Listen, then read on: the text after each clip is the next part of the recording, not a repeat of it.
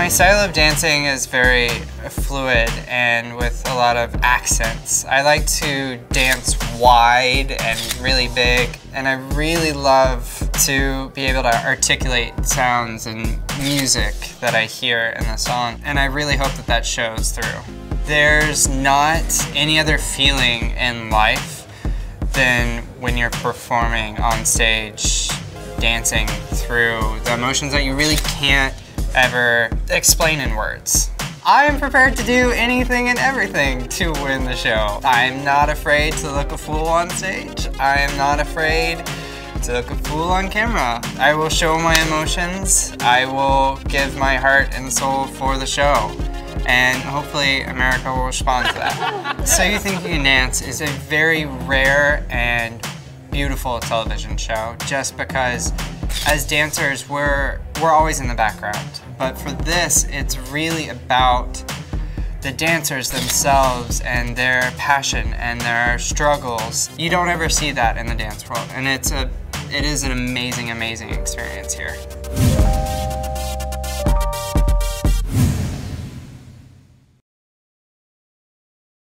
Um, my style of dance is contemporary, and I, I didn't really choose that style all on my own. It's just what comes naturally to me.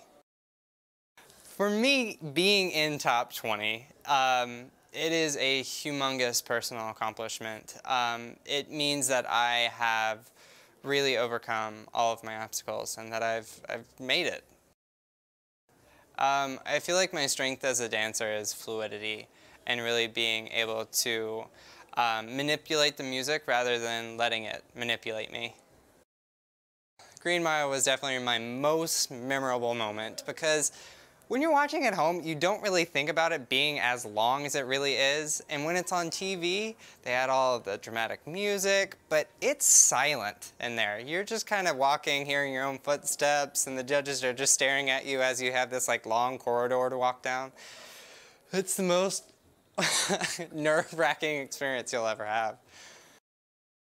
Three most important things for me in preparing for a routine is um, understanding the choreographer. That's not only knowing what they're meaning by their choreography, but understanding where they're coming from, like um, emotion-wise, and really feeling their energy when you're learning from them. The next one is memorization really going over your dance, really knowing every, every small movement, every articulation of the hand or the foot or the toe or the ear, really being able to understand what you're supposed to be doing. And then the last one is being able to become a part of the dance and knowing that you're living in what you do rather than just performing steps for an audience. My nickname's Tux. Uh, I, for some reason, people just started saying my name with lots of S's afterwards, and so now I just sign emails TUX most of the time, just because it's easier, and a lot of people know me like that.